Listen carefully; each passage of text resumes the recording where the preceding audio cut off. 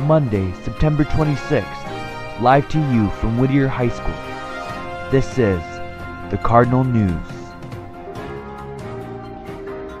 Hey Cardinals, it's Naomi again with your Cardinal News. And so a few days ago, autumn started. Let's see how it is outside.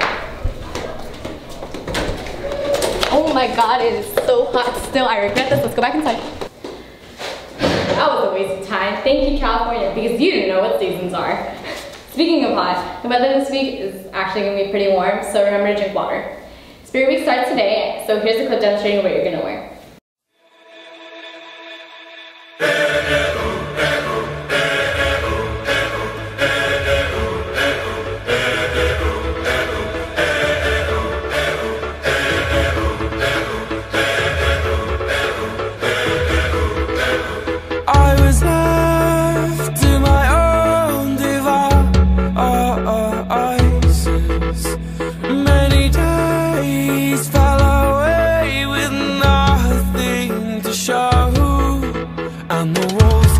Tumbling down in the city that we love. Great clouds all over the hills, bringing darkness from above. But if you close your eyes, does it almost feel like nothing changed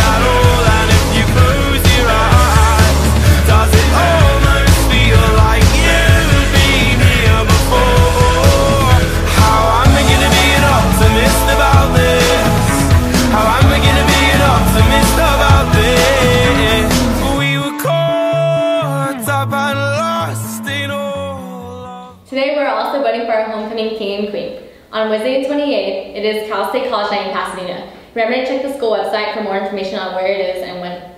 On Thursday the 29th, volleyball, both JV and varsity, are having Jamba Juice sell for $3 at both their games.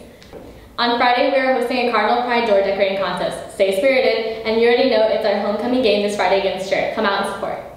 Saturday, October the 1st, Cal State apps are finally available, and SAT is being distributed, and our homecoming dance is being hosted from 6 to 10 p.m. Remember to get cleared for that.